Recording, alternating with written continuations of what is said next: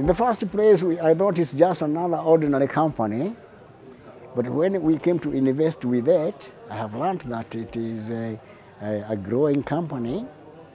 And for the, that period of four years, it has shown us, in fact, uh, how to grow.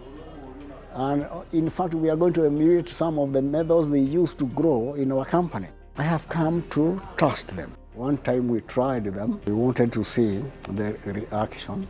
We withdrew a part of our money.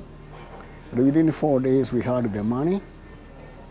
And uh, that's very good because people want to believe their money is not going down the drain. As far as Nyeri Teachers is concerned, we have partnered with Cytonn. What we like best is the uh, monthly statement.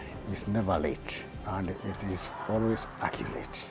That has earned a name in our board and uh, even our investors. And because knowledge is not a monopoly of anyone, we are also sharing what we have with the Cytonn and we want to grow together.